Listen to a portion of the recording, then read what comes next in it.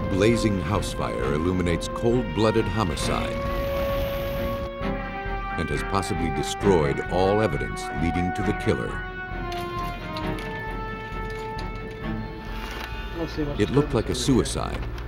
Now investigators aren't so sure. The clues are unusual, but do they add up to murder?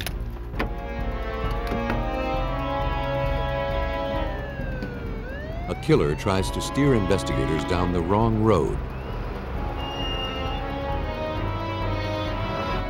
Can forensics get them back on course?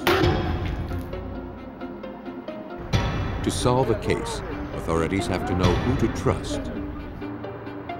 That can be a challenge when key players bear false witness.